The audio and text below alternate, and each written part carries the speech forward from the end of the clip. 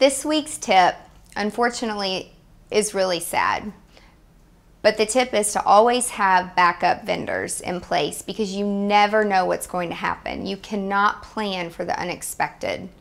So the night before a big event, the restaurant owner that was catering the wedding went into his walk-in cooler into his freezer and he never came out.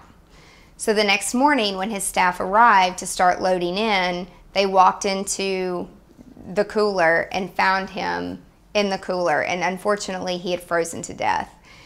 And there's two things. He knew the latch was broken, and everyone in the restaurant that worked there knew that the latch was broken. Why didn't he get it fixed? And two, why did he go into the freezer alone? He was working there late that night. Like most of us who own our own businesses, we work constantly around the clock.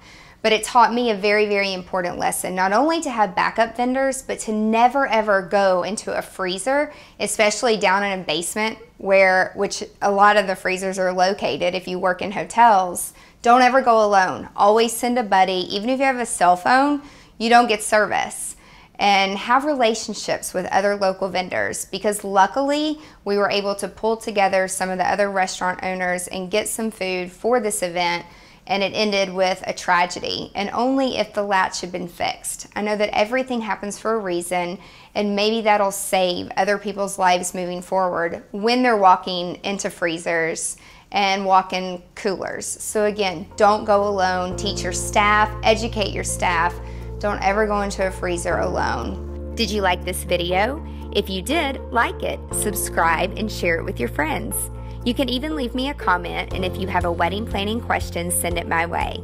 If you want even more great resources to create a productive and profitable wedding planning business, plus some email updates from me that I only talk about in my email, come on over to my website, angelaproffitt.com, and be sure to sign up for email updates. Thank you so much for tuning in to Productive and Profitable Wedding Planning on APTV.